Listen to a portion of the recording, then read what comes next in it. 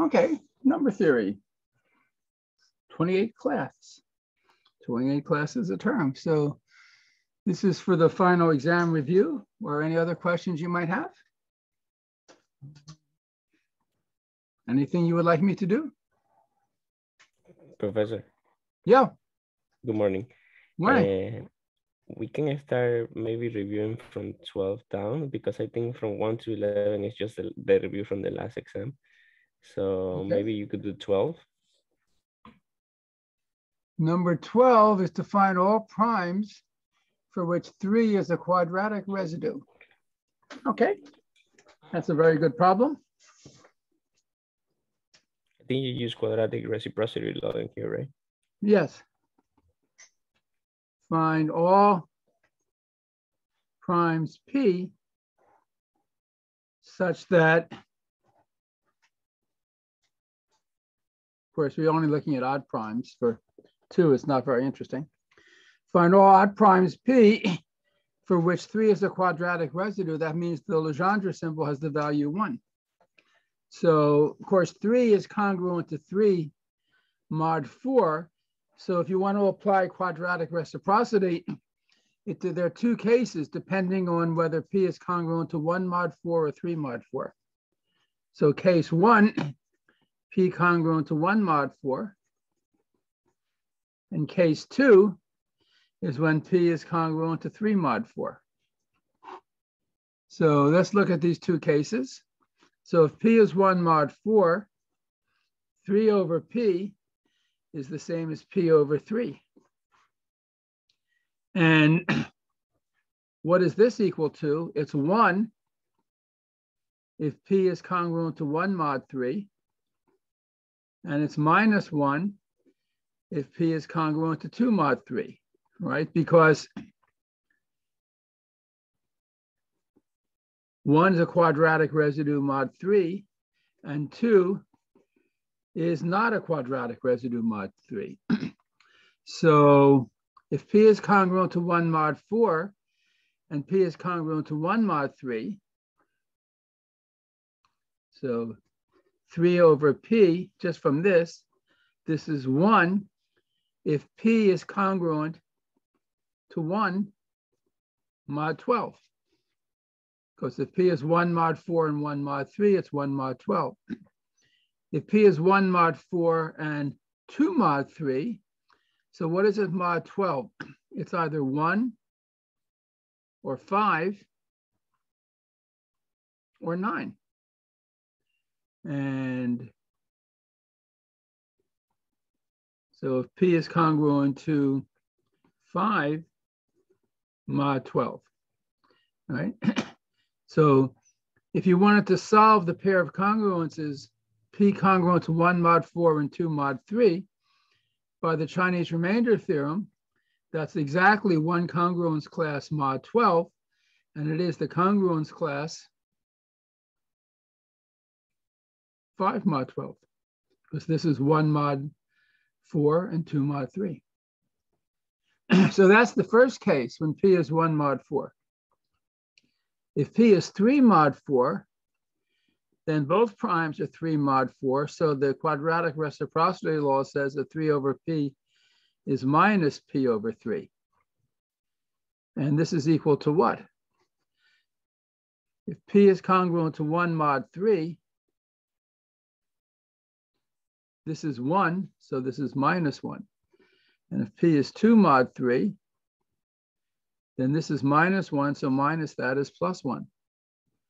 So again, 3 over P is equal to 1 or minus 1. So if P is 3 mod 4 and 1 mod 3, that's congruent to what mod 12?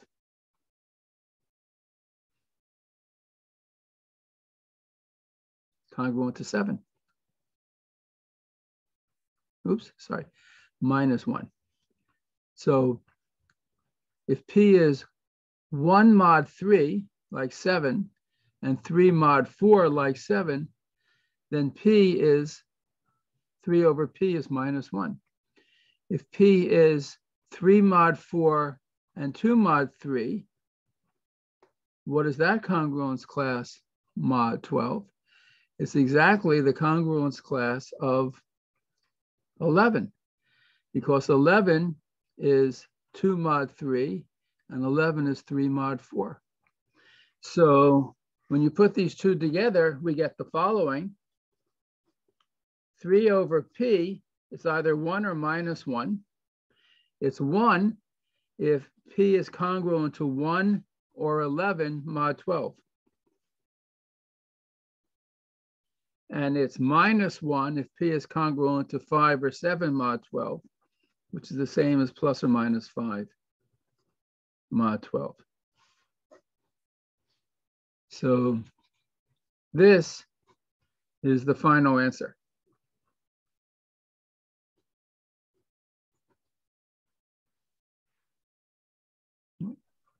Professor. I'm Yeah, sorry. What about if we are looking at for if negative, I mean, all prime, all prime p for which negative three is quadratic residue instead of three. I'm sorry, I didn't understand what you were saying. Can you repeat that, please? I mean, the same question, but negative three instead of three. Right. Well, okay, before I do that, let me ask if there are any questions about this. Okay, All right. So this is a standard way you apply the quadratic reciprocity law to solve a question like given some number A, find all the primes for which A is a quadratic residue and find all the primes for which A is not a quadratic residue.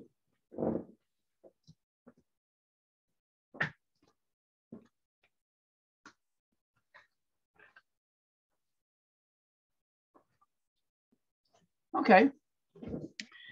So then you asked about minus three. Is that your question? yes,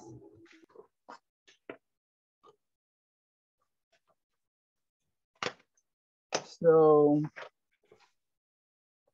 you want to find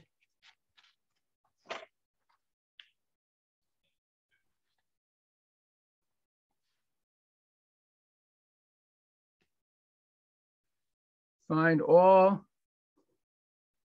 primes P not equal to two or three, of course, such that minus three is a quadratic residue mod P. So again, we can start by dividing this up into two cases. So case one, if P is congruent to one mod four, then minus three over P. This is the same as minus one times three over P. And so by the multiplicativity of the Legendre symbol, this is minus one over P times three over P. And of course, if P is one mod four, minus one over P is plus one. So this is three over P. And for primes congruent to one mod four, we already solved that problem. If P is one mod four, three over P is one if P is one and minus one if P is five.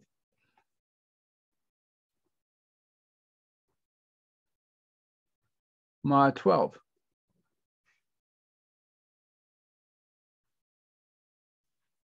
So if P is one or minus one, if P is one mod 12, this is one.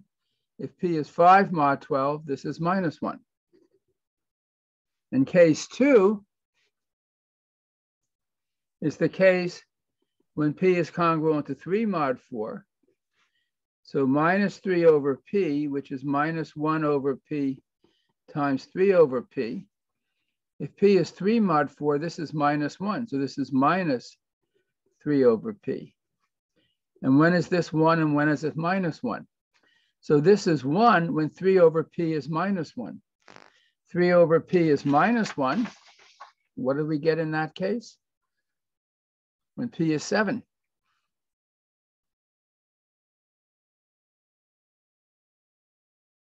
Mod 12.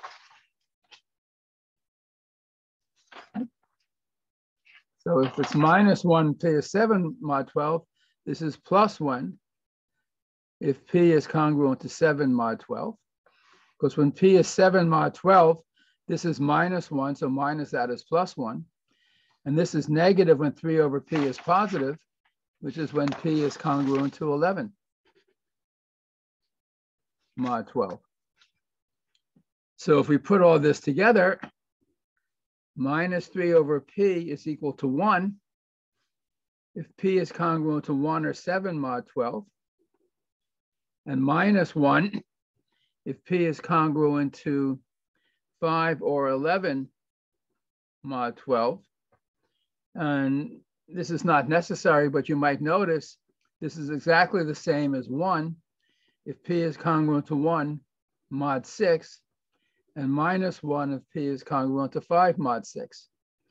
of course, the congruence class is mod 12 for a number that's 1 mod 6 or 1 and 7 and mod 12 if P is 5 mod 6, then P is 5 or 11 mod 12.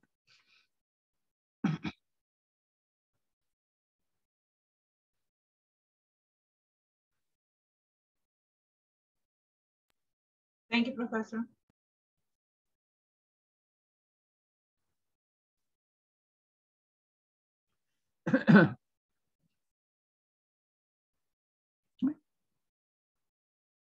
Other questions you would like me to do? Yeah, we can continue with like 13. The, the, the same but with 5, 5 over P. Okay.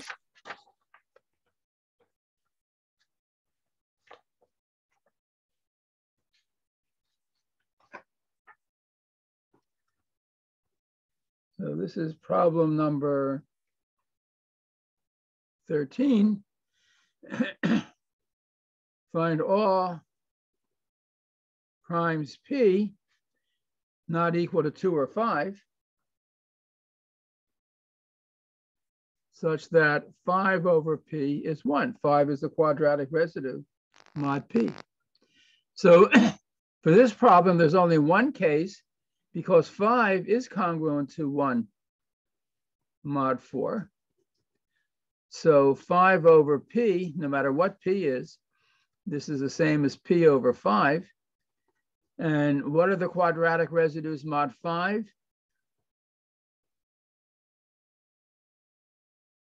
One or four mod five. And the quadratic non-residues are two or three mod five. So five's a quadratic residue mod P, if and only if P is one or four mod five or plus or minus one mod five. That's it? Okay. That's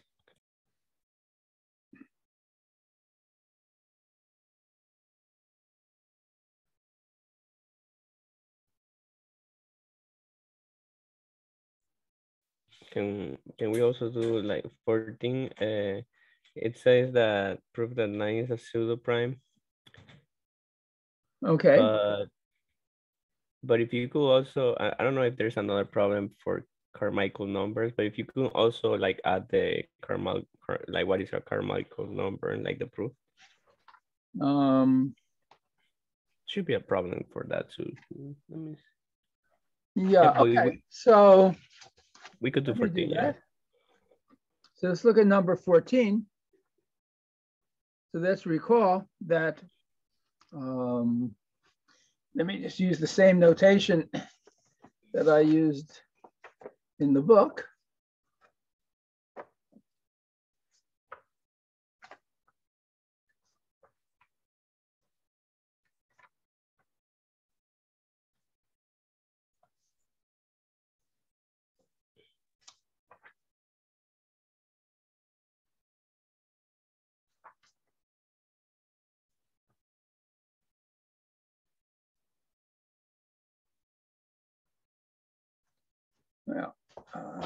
So we say that n is a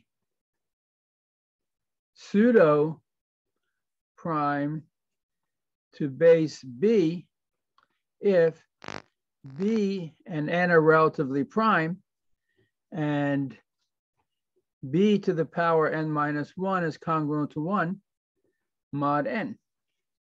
So 9 is a pseudo prime to base 8 if 8, so in this case, n is equal to 9, so n minus 1 is 8. 8 to the 8 is congruent to 1 mod 9. So how do we prove this congruence holds? Well, one way, of course, is to actually do the calculation. That's kind of um,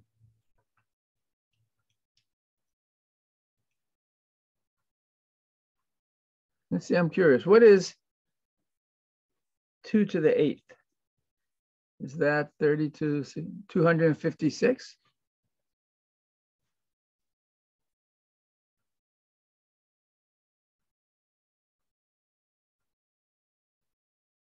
Yeah. Um, eight, two to the eighth.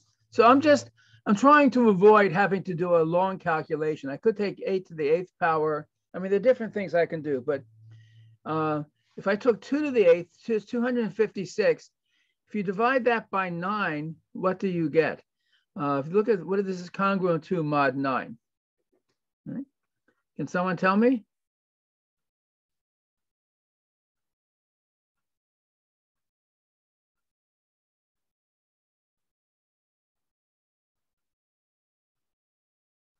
One second, Professor.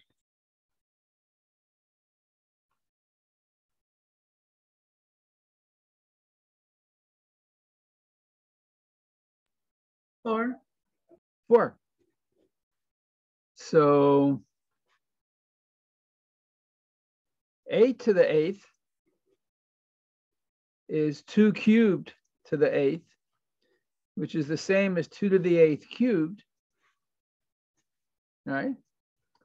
And if I'm interested in this just mod nine, two to the eighth is four, so this is congruent to four cubed. Let's see, four cubed is 64, and 64 is congruent to one mod nine. So eight to the eighth is congruent to one mod nine, and I'm done.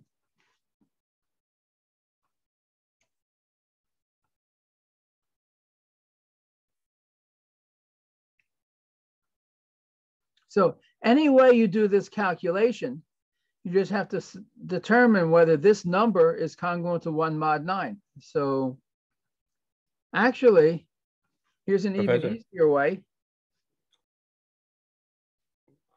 Professor, Yeah, let me ask you something because I thought like you needed to also prove the same for the factors of n. So I was a little bit. no, no, no, no. that. This is for a pseudo-prime. This is not for a Carmichael number. Oh, the other things for Carmichael. Okay, perfect. Thank you. So you can also say the following, eight is congruent to minus one mod nine.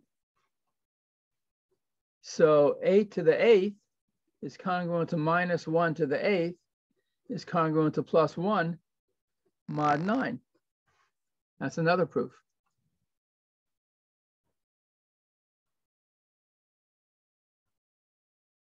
This has to be the shortest proof there is.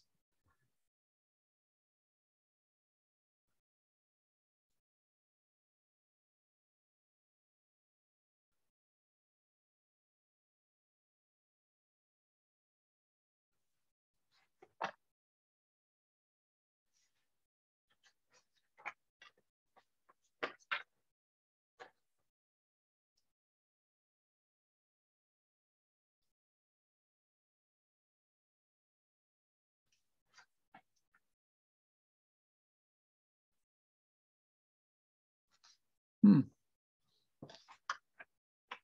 Let me do number 39. That looks complicated.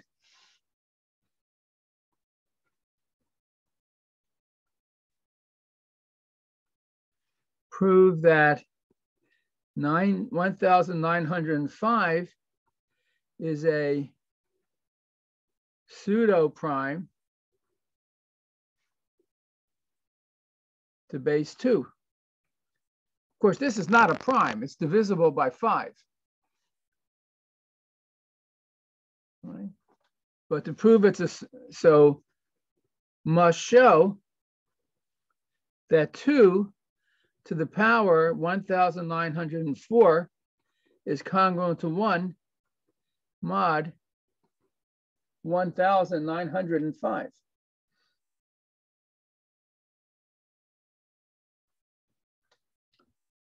So one method is, um, is to take this exponent, 1,904, and write it in binary. So write 1,904 in binary. This is a sum of powers of two. So let's see, what are the powers of two? 2, 4, 8, 16, 32, 5, 12, 10, 24. That's the largest power of two, less than 1,904. And the difference is 780, is that right? Uh, or 880 rather, excuse me. 1904 is 1024 plus 880. All right. Uh-huh, okay. And 880 is 512 plus 368. Does that look okay? Correct. So that's 1024 plus 512. This is 256 plus 112. Correct. So this is 1024 plus 512 plus 256 plus 64 plus 48. And that's 1024 plus 512 plus 256 plus 64 plus 32 plus 16. So now we have this as a sum of powers of two. This is two to the fourth plus two to the fifth plus two to the sixth plus two to the eighth plus two to the ninth plus two to the tenth.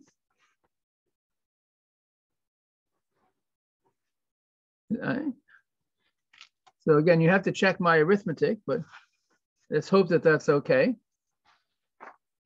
So now we want to start calculating 2 to powers of 2 mod 1905.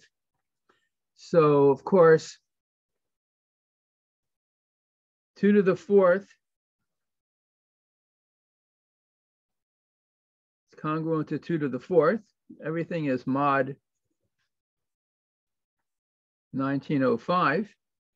In fact, all of these numbers um,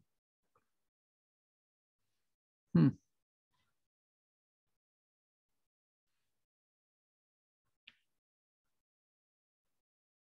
Let's see. So 2 to the 1,904 is 2 to this sum. So that's 2 to the 2 to the 4th, 2 to the 2 to the 5th, 2 to the 2 to the 6th, 2 to the 2 to the 8th, 2 to the 2 to the 9th, 2 to the 2 to the 10th, right? Okay, now let's try and make this a little bit nice. So it's actually equal to that, so it's congruent to that, mod 1905. Let me make a little table if I can.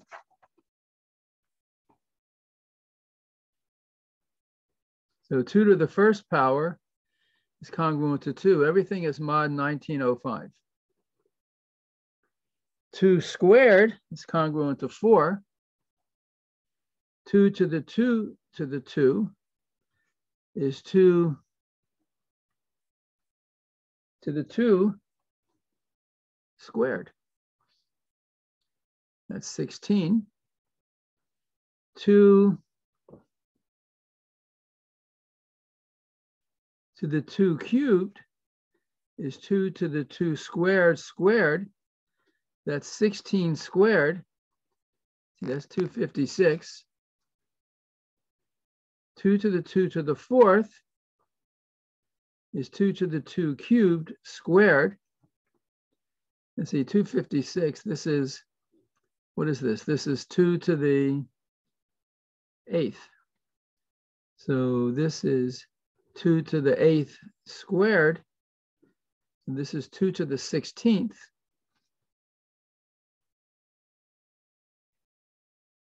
Two to the two to the fifth is two to the 16th squared, which is two to the 32nd.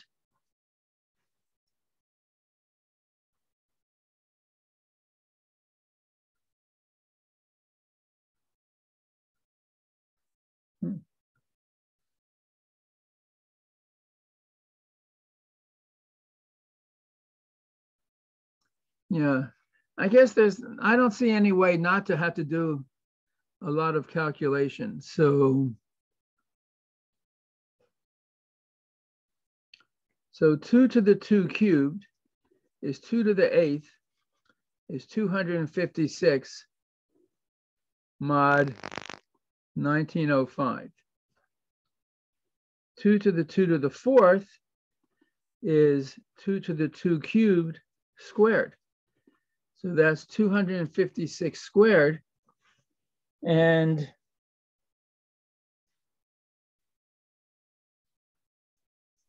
that's 65,536.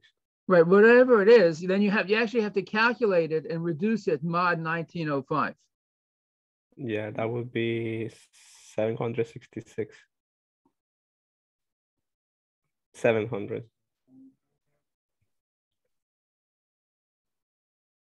Professor, quick question. Yeah.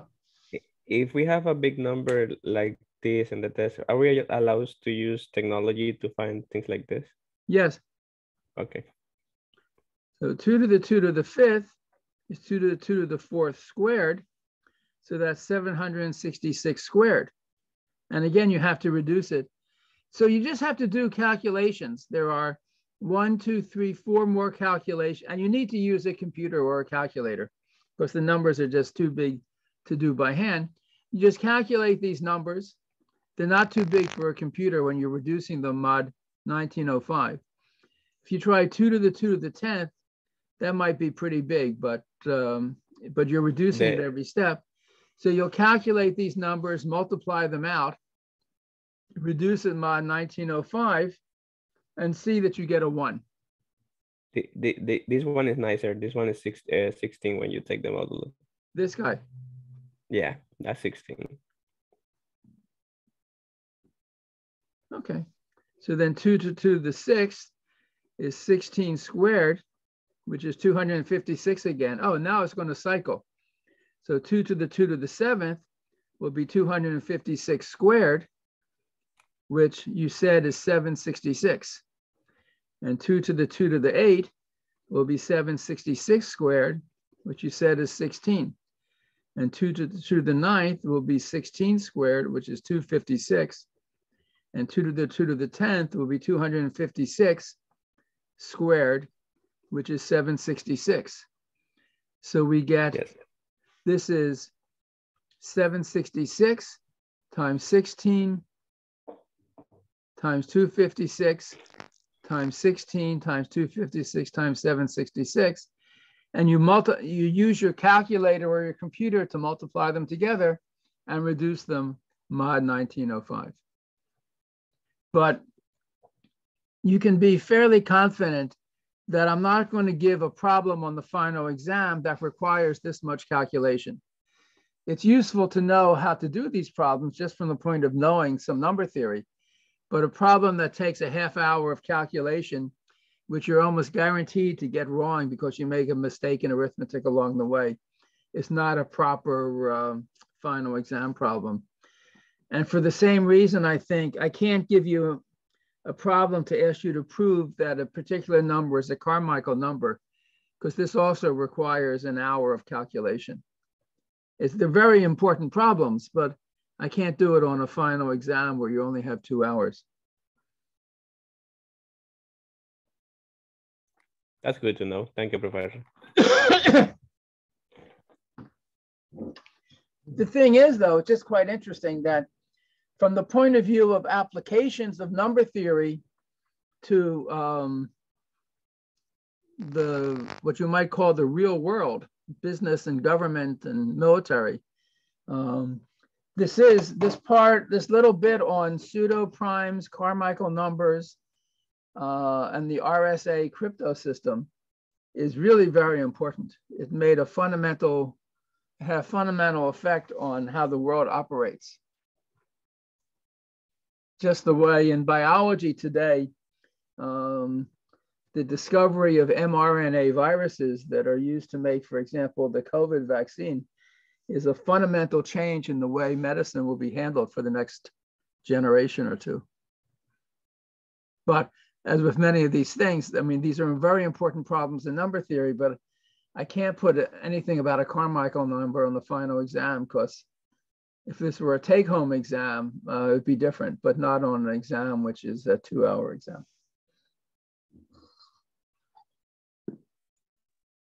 Perfect.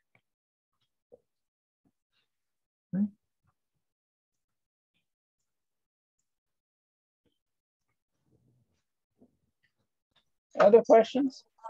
Can you do, Professor, can you do please number 33? I'll try. I'll try. Thank you. By the way, uh, let's see. Remember the um, final exam is a week from today. And I will probably have an office hour every single day until the final exam including over the weekend. I'll make sure I have office hours Saturday and Sunday this week as well. So you can always, there's always at least one time every day when you can log on and ask questions. And I try to have some in the, of the office hour type uh, Zoom sessions in the morning, the afternoon, and the evening because people have different work schedules. Okay. Um, Professor. Yeah. Can you please record the office hours? Sorry? Can record I the office, the office hours? hours? Yes. Uh, I'll try to remember. Thank you. I'll, I'll try to remember. If you, yeah. So maybe anyone who logs into an office hour, just remind me I should be recording it. Uh, the thing is, the office hours are for any of my classes. So it could be, um, you know, calculus or linear programming, and it's all often mixed together. Um, but I'll try to remember to record. Okay, I'm sorry. Uh, you asked me to do which problem? Someone just asked me to 33. 33. 23 or 30? 33. I'm, I'm sorry, my sound is sort of garbled. 33. Number 33. Okay, sorry. Solve the quadratic congruence x squared plus 20x plus 89 congruent to 0 mod 53. So you can set this up in different ways. You could say, for example, x squared plus 20x congruent to minus 89 mod 53. I just brought this to the other side. And I might want to complete the square, which I can do by adding 100 to both sides. So this is also true. And x squared plus 20x plus 100 is exactly x plus 10 squared. So I want to know x plus 10 squared congruent to 11 mod 53. Can I solve this congruence? So this has a solution.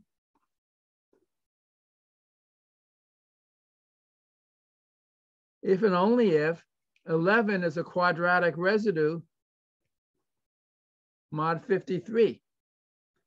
So, so actually there, Um, yeah. So maybe before I look for a solution, I should try and see if there is a solution. Now, actually, I can tell by looking right away that there's a solution, but let me just calculate this in any case. 11 over 53. So these are both primes. 11 is 3 mod 4, and 53 is 1 mod 4. So because at least one of these two prime numbers is 1 mod 4, I can turn this over by quadratic reciprocity. This is 53 over 11. 53 is the same as minus 2 with respect to 11, which is minus 1 over 11 times 2 over 11. 11 is 3 mod 4. So this first Legendre symbol is minus 1. 11 is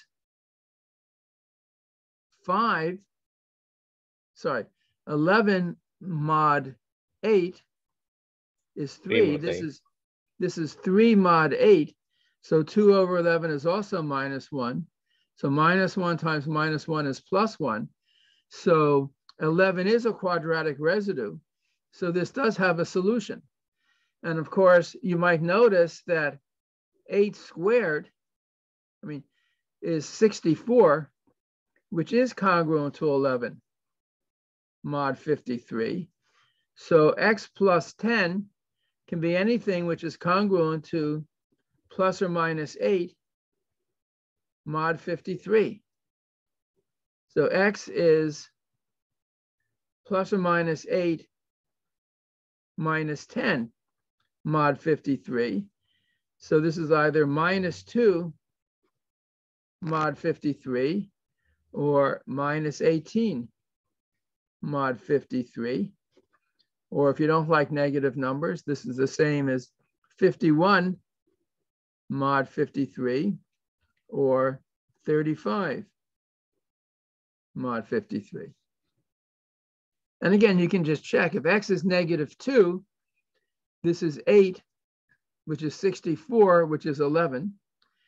If x is minus 18, this is minus 8. When you square it, it's also 64.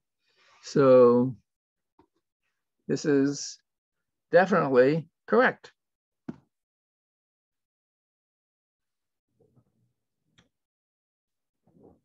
Thank you. Sure.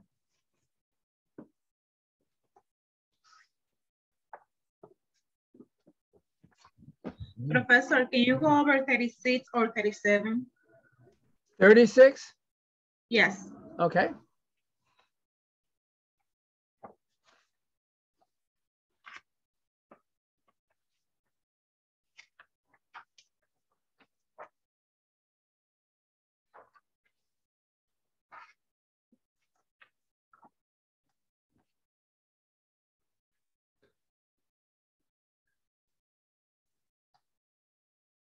So prove that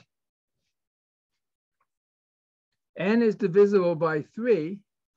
That means n is congruent to 0 mod 3 if and only if the sum of the decimal digits is congruent to 0 mod 3. So for example, if you take a random number like, I don't know, 786. Um, uh,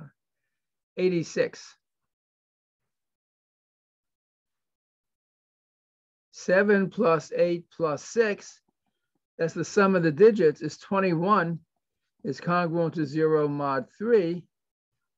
So by this theorem, this implies 786 is congruent to zero mod three. And so this is a very convenient way to tell quickly whether a number is divisible by D. And the proof is based on the following. So you have to understand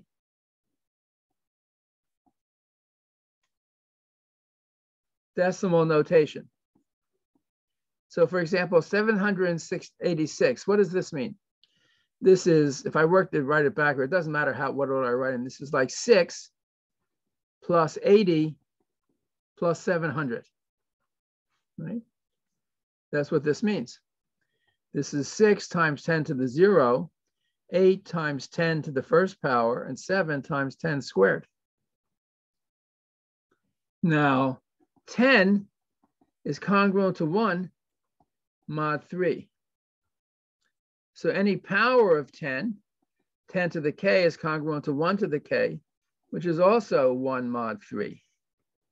So if I write the number like this, including 10 to the 0, 10 to the 0 is 1. It's congruent to 1 mod 3 also.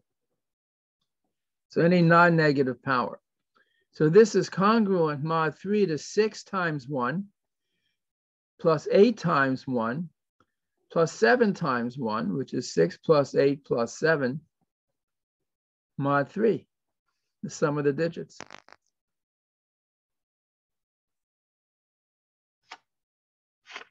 So in general, if you have a positive integer n, suppose n, when you write it as digits, it's like um, AK, I'll write dk, dk minus one, d1, d0. This is the, these are the decimal digits of n, right? Like n equals, what was this last example? 786. So this is the D0, this is D1, this is D2. And what this means is dk times 10 to the k plus dk minus 1 times 10 to the k minus 1 plus d1 times 10 plus d0. And every power of 10 is congruent to 1 mod 3. So this is congruent to dk plus dk minus 1 plus d1 plus d0 mod 3. So that's what we had to prove. In fact, it actually proves something stronger. It proves that n is congruent mod 3 to whatever the sum of the digits is. So if I take some number, 8, 9, 2, 6, 5, 1, 1, 3, 7, right? That's my n. So mod 3, this is congruent to 8 plus 9 plus 2 plus 6 plus 5 plus 1 plus 1 plus 3 plus 7.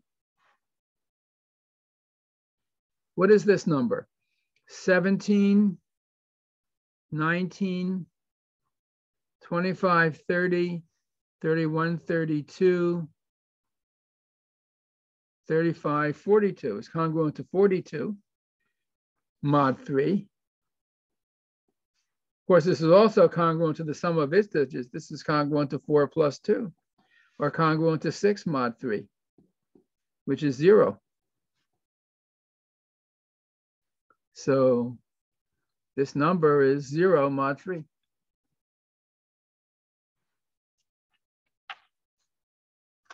And problem 37 is essentially the same thing because we also know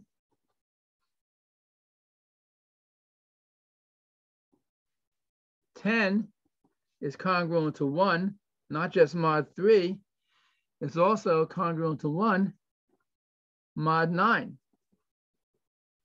So 10 to the k is congruent to one mod 9 for all k.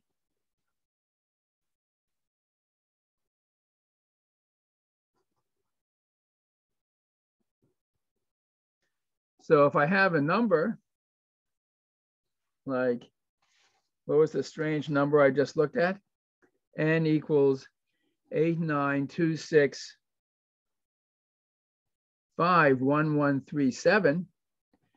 Mod 9, this is congruent to 8 plus 9 plus 2 plus 6 plus 5 plus 1 plus 1 plus 3 plus 7.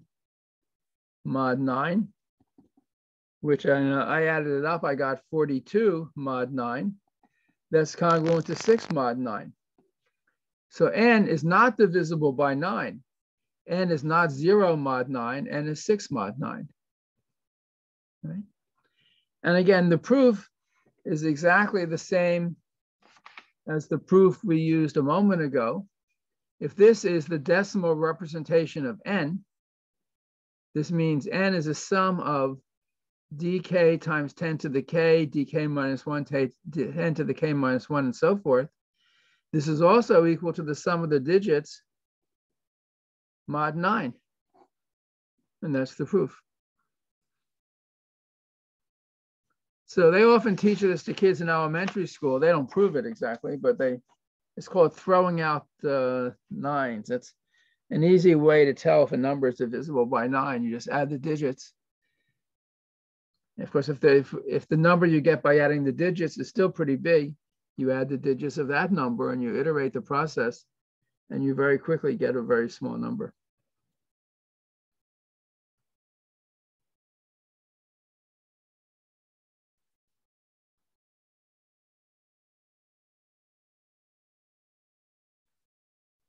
Okay, Thank you, Professor. sure.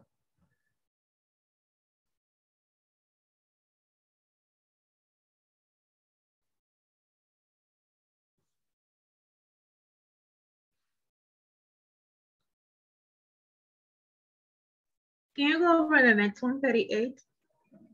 Please. Oh, I'm not going to do Carmichael numbers because I'm not going to put it on the exam because it takes Okay, way long to calculate. Um, Thank you. so it's an important subject in number theory, but uh, I, I can't do it on the exam. And if I did a problem like that right now, it would take 45 minutes. I mean, they use a lot of number theory. They're very nice problems, but they're time consuming.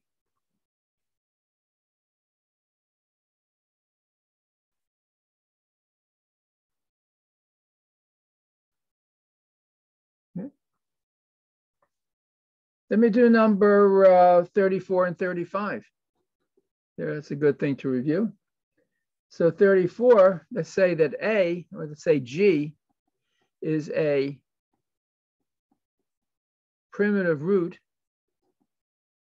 modulo a prime number P, if first of all, G and P are relatively prime, and you can say this in several equivalent ways. One is uh, G has order P minus one modulo P. That is the smallest power of G, which is congruent to one mod P. Smallest positive power is P minus one.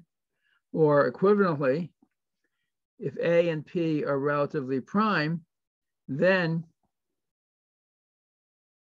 there always exists K such that A is congruent to G to the K mod P. And K is called the index of A. with respect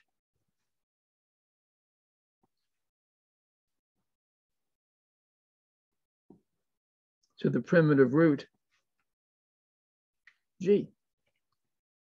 So we want to prove that 2 is a primitive root mod 11.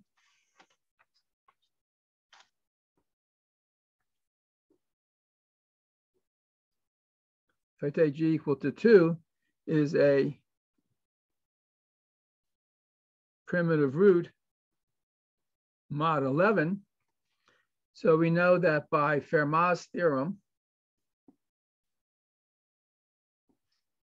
g to the 10th, sorry, 2 to the 10th is congruent to 1 mod 11. And the order of 2 modulo 11 is a divisor of 10. That is 1, 2, 5, or 10. So if the order of 2 is not 1, 2, or 5, then it has to be 10. So 2 to the first power is congruent to 2 is not 1 mod 11. 2 squared, which is 4, is not 1 mod 11. 2 to the fifth, which is 32, is minus 1, so it's not 1 mod 11. So therefore, 2 is a primitive root.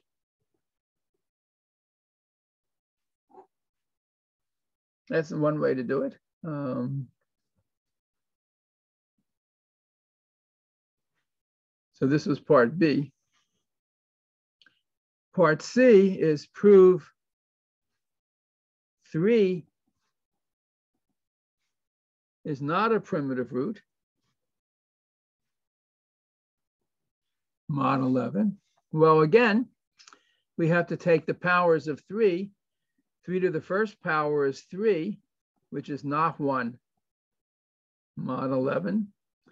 3 squared is 9, which is not 1 mod 11. 3 to the fifth power. What is 3 to the fifth power? 3, 9, 27, 81, 243. If you divide 243 by 11, well, actually, this, is 11.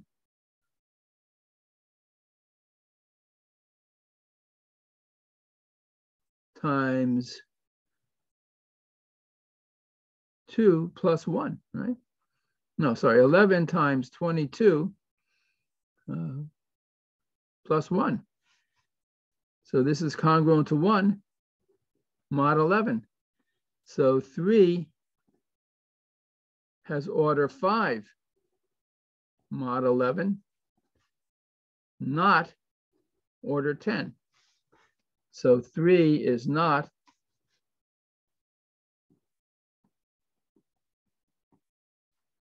a primitive root modulo 11.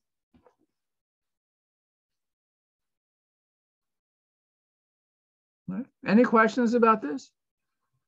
This is the type of problem that you have to be able to do on the final exam. This is really sort of fundamental arithmetic, number theory. So in part B, we proved that 2 is a primitive root mod 11.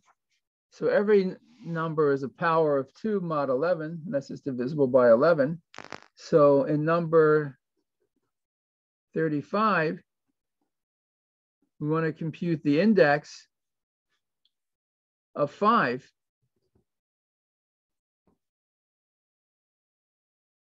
modulo 11 with respect to the primitive root 2. So that is, we want to find the least positive integer k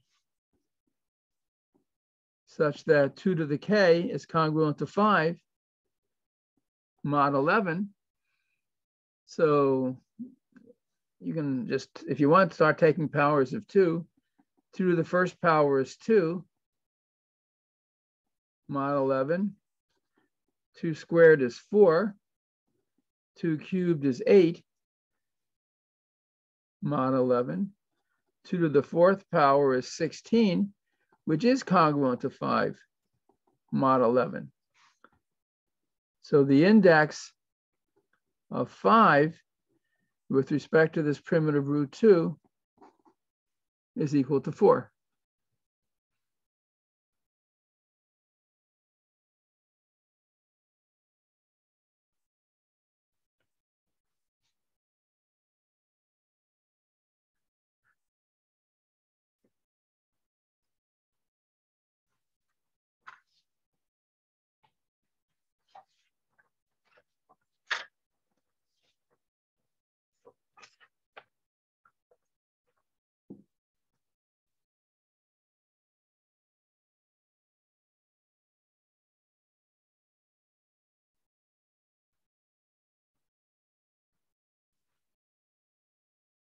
Any questions about this?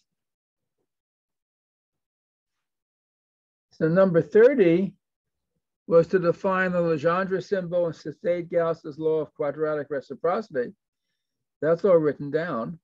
But then we had to use the law of quadratic reciprocity to determine if minus 70 is a quadratic residue mod 137. So we want to calculate this Legendre symbol. 137 is a prime, but 70 is not. So the first thing we have to do is factor the numerator. This is minus 1, and 70 is 2 times 5 times 7.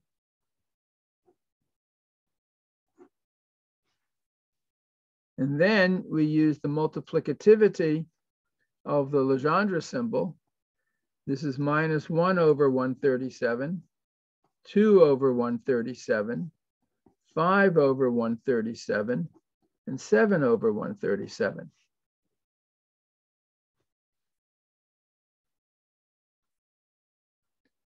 Now, 137 is congruent to 1 mod 4. So minus 1 over 137 is plus 1. And 137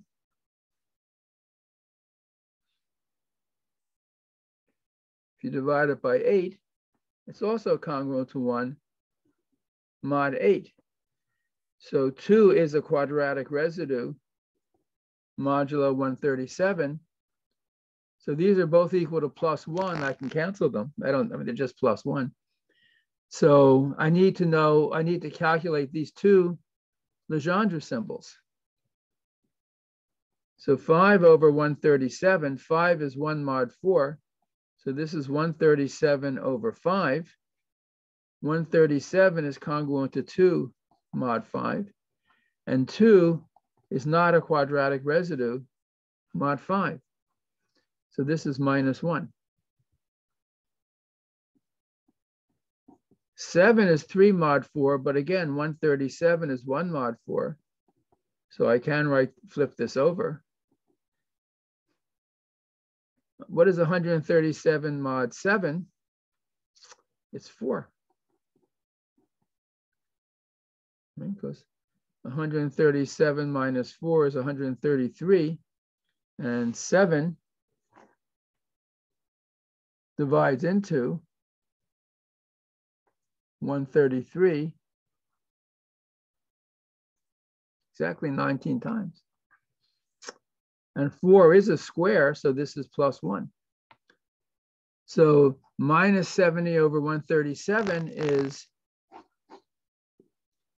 1 times 1 times minus 1 times 1 is minus 1. So minus 70 is not a quadratic residue modulo 137. Professor, Yeah, it's not easier to say that negative 7 is just 67 more mod 137 and then just do reciprocity?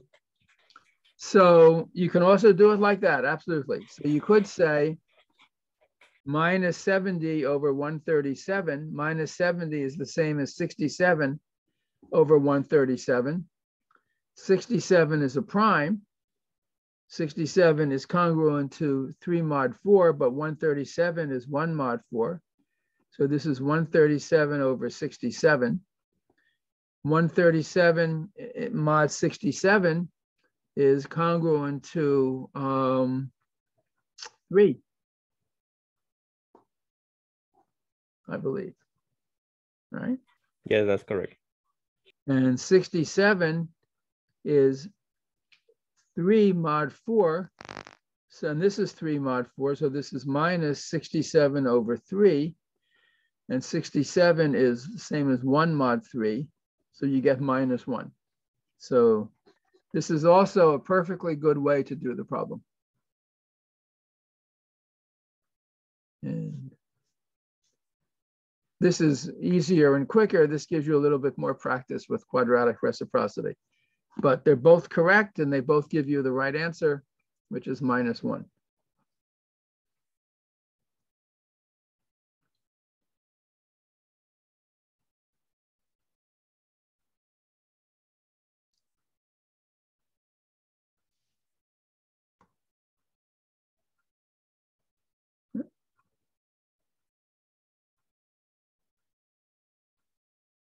Other questions? Can we practice a little bit 26 or 20, 27? Okay.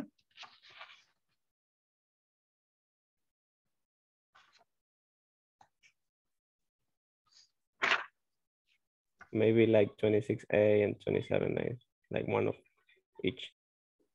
So number 26 is to determine if there's solutions to the congruence 13x congruent to 5 mod 37. So uh, so of course we know this has a solution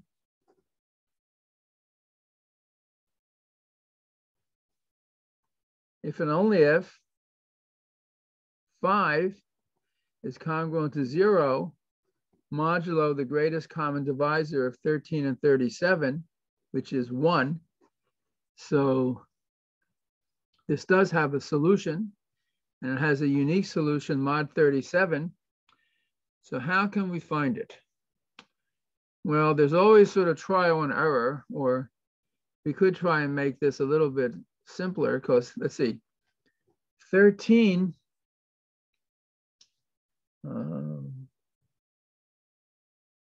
hmm. Well, if you don't, there's always one way that always works, which is, you see, this means um, 3x is congruent to 5 mod 37 if and only if there exists a y such that 13x minus 5 is 37y, or equivalently, 13x minus 37y equals 5. So you want to find a solution to this Diophantine equation. And what you always know is that by the Euclidean algorithm,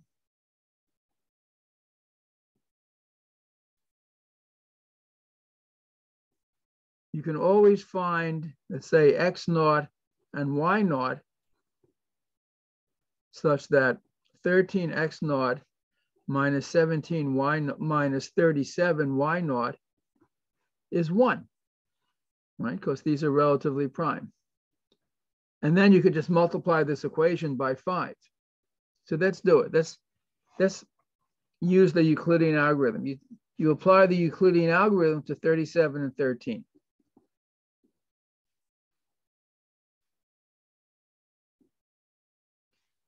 So 37 is 2 times 13 plus 11. And 13 is 1 times 11 plus 2. And 11 is 5 times 2 plus 1. So I got my 1 as a remainder. So 1 is 11 minus 5 times 2,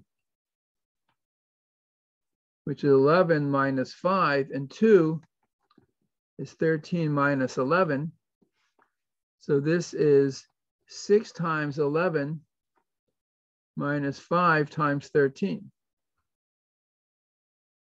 And 11 is 37 minus 2 times 13 minus 5 times 13. So this is 6 times 37 minus 12 times 13 minus, minus 17 times 13.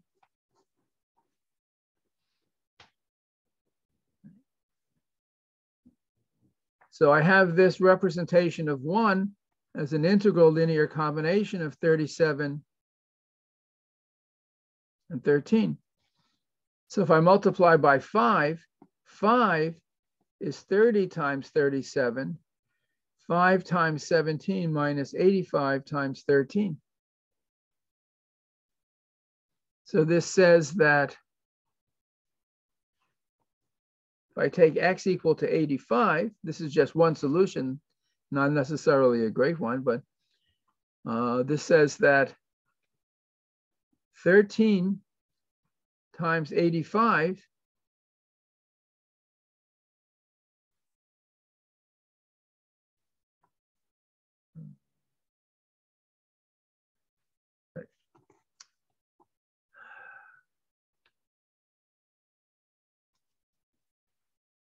13 times minus 85 is congruent to 5 mod 37.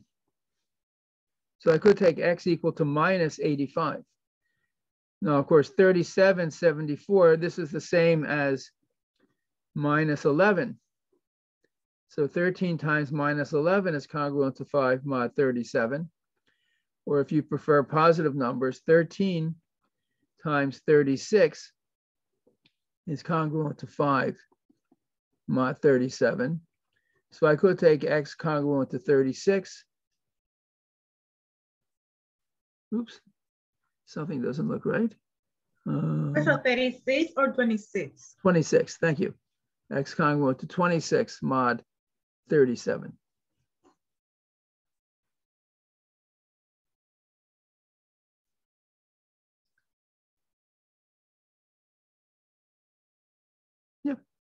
So that's one way to find the solution.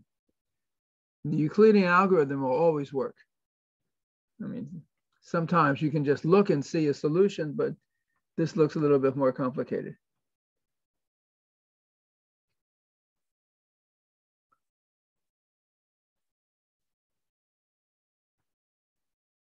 So this was 26A.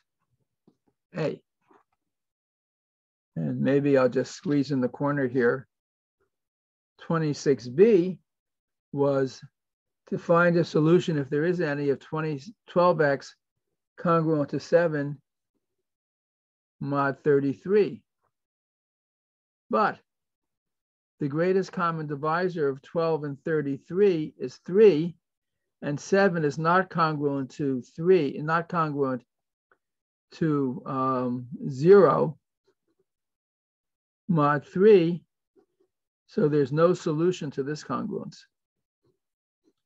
So for B, 12x congruent to 7 mod 33, the basic theorem about the solutions of a linear congruence tells us there's no solution, so you don't need to spend your time looking for one.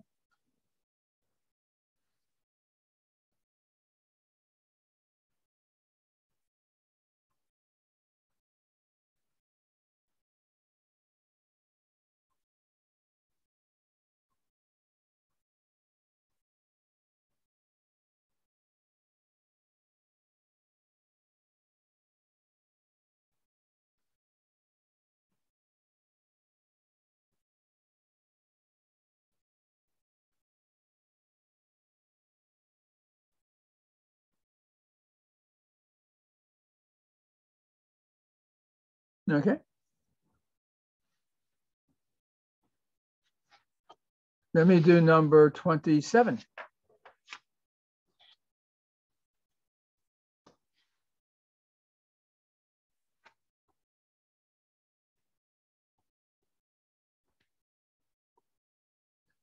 So this is the Chinese remainder theorem.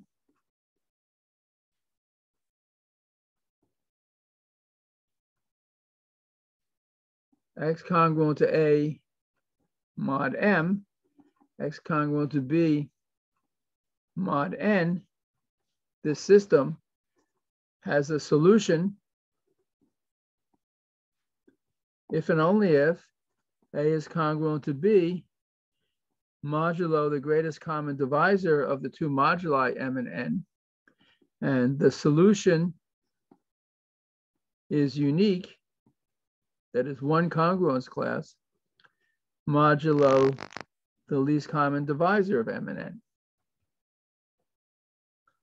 So in A, we have the pair of congruences x congruent to 9 mod 14, x congruent to 23 modulo 35, the greatest common divisor of 14 and 35 this is seven times two and seven times five is seven, just as the greatest, the least common multiple of 14 and 35 is 70. And 9 is congruent to 23 mod 7. So this means that solutions exist. And one way to find it is the following. If x is congruent to 9 mod 14, that means that x is a number of the form 9 plus 14y. It's a number congruent to 9 mod 14. And if x is also congruent to 23 mod 35, this means 14y is congruent to 23 minus 9 is congruent to 14 mod 35, which obviously has a solution 1. Um,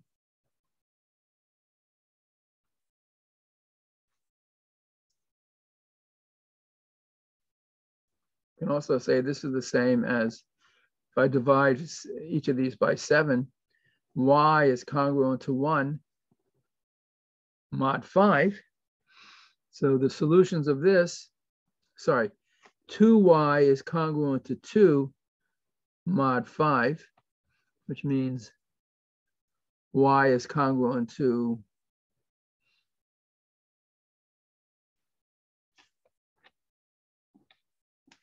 one mod 5. So y is a number of the form 1 plus 5z, and x is 9 plus 14y. That's 9 plus 14, 1 plus 5z.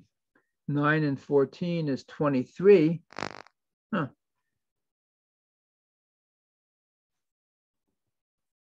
Plus 7dz. So if I let x be any number congruent to 23, this is certainly a solution of this. It's also a solution of this. So this is the general solution. So the general solution is all x congruent to 23 mod 70.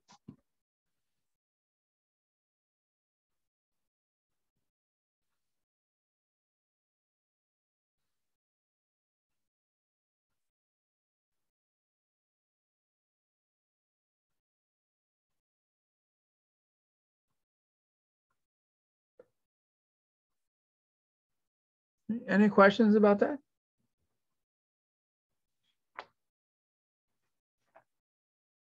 In 27b, when you apply the Chinese remainder theorem, you'll see that there's no solution.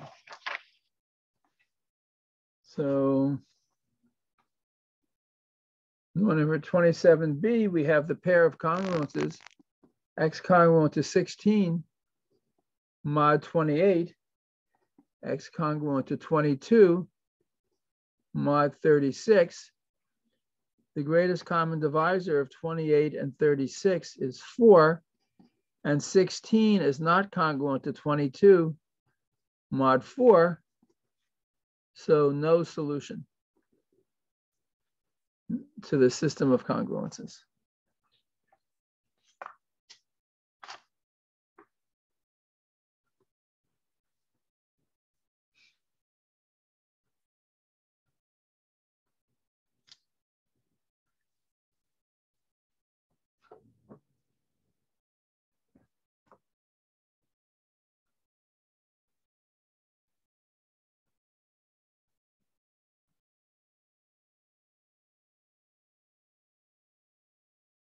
Professor, Yeah, can we go over 22?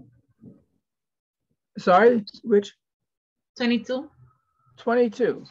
Yes. Okay. So we want to find, use the Euclidean algorithm to find the greatest common divisor of 290 and 47. So you want to divide 47 into 290. And this goes um, six times. So six times 47 is 42, is 282, and it leaves a remainder of eight. Is that right?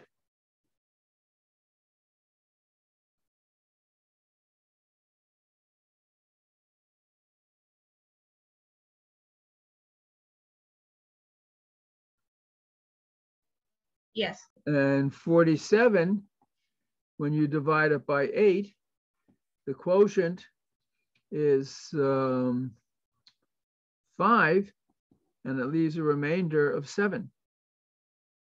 And eight, when you divide it by seven, leaves a remainder of one. So one is eight minus seven. Seven is 47 minus 8 times 5. So this is 8 plus 6 times, plus 5 times 8. That's 6 times 8 minus 47.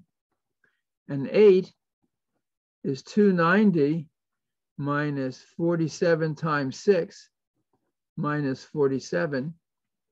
This is 6 times 209. So sorry. So for the first part, this says that, so for A, this says that um, the GCD of 290 and 47 is one. And then to express that as a linear combination, you go through this algorithm. This is six times 290 minus 36 times 47 minus 47 is minus 37 times 47.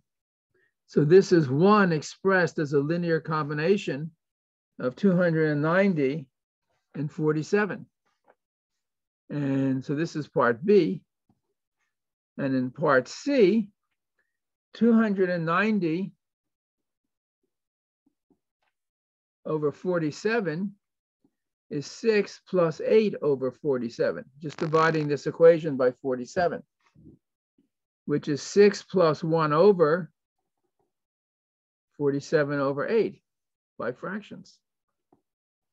6 plus 1 over 47 over 8 is 5 plus 7 over 8, which is 6 plus 1 over 5 plus 1 over 8 over 7, which is 6 plus 1 over 5 plus 1 over 1 plus 1 over seven. So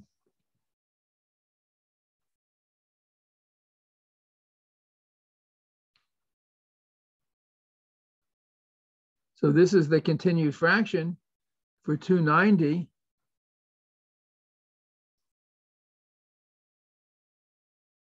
over 47. Six, one, sorry, six, five, one, seven. Uh, normally you would also put another line here, divide seven by one. Seven is one times seven plus the remainder of zero. So these are the quotients that come up in the Euclidean algorithm, six, five, one, seven, exactly the numbers that you see in the continued fraction.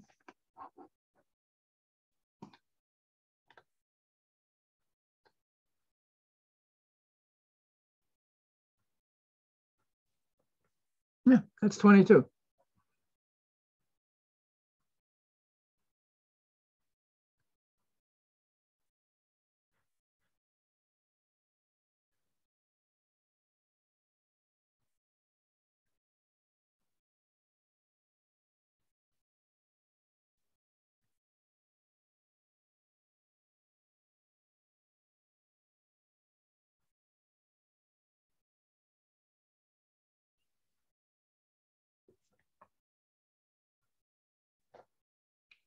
Any other questions?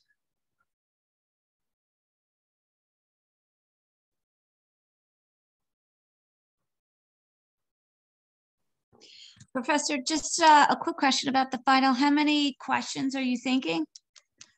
I have no idea. Right. Um, probably not too much different from the midterm.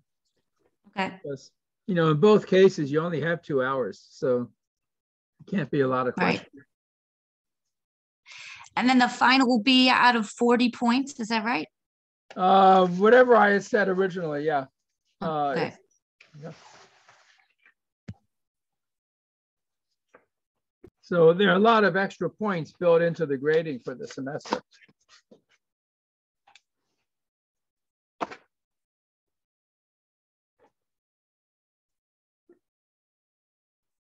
Anything else? Uh, Again, every day there's an office hour and you're welcome to log in and um, if no one logs in after 20 minutes or a half an hour, I just, you know, close it down. But uh, if people log in, I'm usually willing to run over an hour unless I have a class or something else. But um, but there is an office hour every day, so up until the final. Okay, then we are done for the day. Uh, Professor, yes, sir. I have a really quick question. So I have I have an issue with the homework numbers. It looks like I submitted the homeworks in the wrong wrong spot because I'm doing the last homework. There is still three more homeworks to, to submit. Uh, like if I notice that I'm missing one homework, it's okay that I if I submitted in the remaining three. Uh, yes, you can turn in the homeworks and correct anything up until the day when I give the final, which is a week Yeah. from today. But what I mean is like since I have the numbers wrong, like for example, if I submit homework, I'm missing homework six and I submitted homework 20, it's it's okay because I I submitted in the wrong spots. Right, so you can resubmit it and just, uh, you know, there's a place where you can put in a note to me and just Okay. explain what you're doing. Ah, okay, perfect. It's Appreciate fine. it. Okay, perfect. Have a good day. Thank you, you too. All right, everyone. Take well, be well. Good luck on all your exams. Thank you, Professor. Have a good day. Thank you, Bye-bye. Professor.